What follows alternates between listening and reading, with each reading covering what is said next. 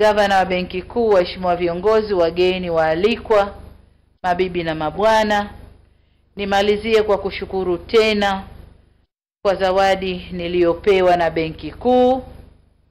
Ile zawadi kwa kweli, kama mmejua, inaakisi umri wangu, kwa sababu mimi naifahamu pesa mbili na nimeitumia sana, mimi na kakaangu Rafael pale kwa tunanyang'anyiana vitumbua races tukitoka, na matumizi yetu yalikuwa ni pesa mbili, pesa nne, pesa sita na namna hiyo, lakini zikaenda tukatumia pia nusu shilingi ambayo ni senti hamsini, nusu shilingi, shilingi moja.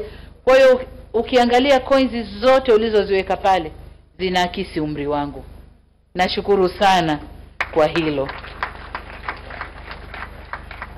lakini pia nishukuru kwa mwaliko huu na heshima hii mlionipa leo ya kuja kufungua jengo hili hapa Mwanza.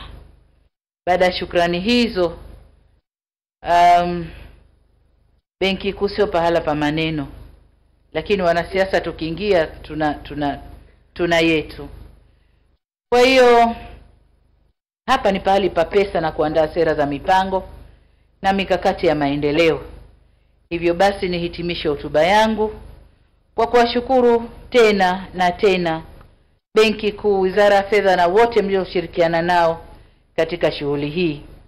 Nawapongeza kwa kujenga jengo lenu jipya, lakini pia kwa hatua mbalimbali zilizowezesha nchi yetu kupata mafanikio mengi makubwa ya kiuchumi.